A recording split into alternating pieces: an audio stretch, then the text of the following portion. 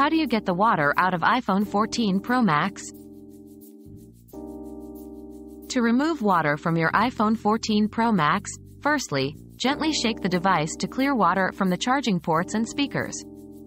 Then, wipe the exterior with a soft, lint-free cloth. Avoid charging until the iPhone is completely dry. For persistent moisture, use a desiccant, like silica gel, placing the phone in a container with it for up to 48 hours. Avoid heat sources like hair dryers, as they can damage internal components. If issues persist, consult an Apple authorized service provider.